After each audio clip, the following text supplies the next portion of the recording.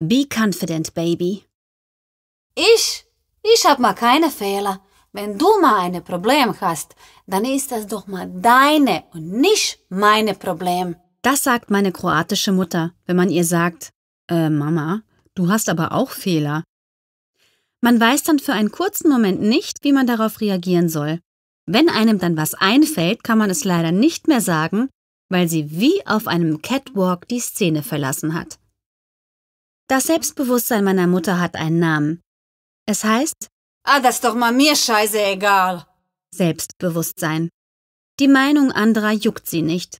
Sie achtet natürlich darauf, niemandem weh zu tun und auch niemandem auf die Füße zu treten, aber sie findet, sie ist ausgesprochen gut gelungen.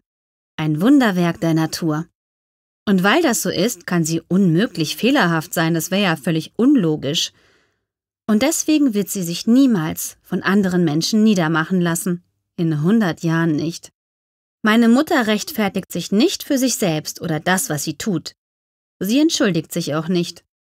Oder höchstens dann, wenn sie wirklich jemandem unabsichtlich wehgetan hat, aber ganz bestimmt nicht dafür, dass sie ist, wie sie ist und das tut, was sie für richtig hält.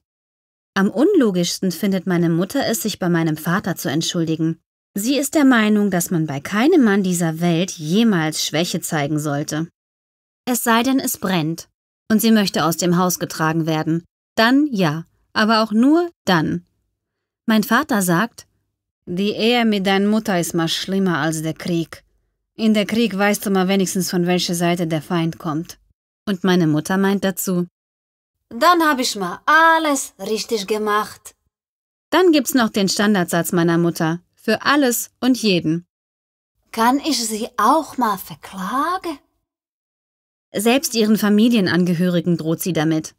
Und obwohl wir wissen, dass wir nicht in den USA sind und hier niemand so einfach verklagt werden kann, legt sich lieber keiner mit ihr an.